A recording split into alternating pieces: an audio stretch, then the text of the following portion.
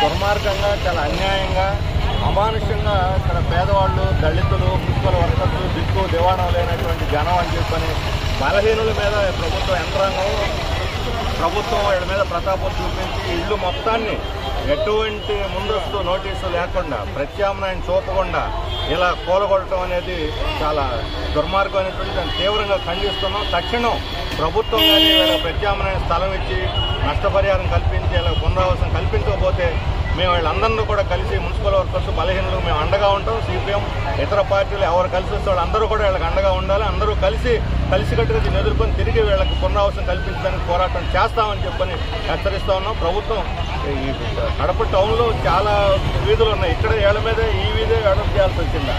ఈ రకమైనటువంటి బుల్డోజర్ రాజకీయాలు ఢిల్లీలో అమలు జరుగుతున్నాయి. ఇక్కడ అమలు చేస్తా ఉన్నారు. ఎక్కడ పడితే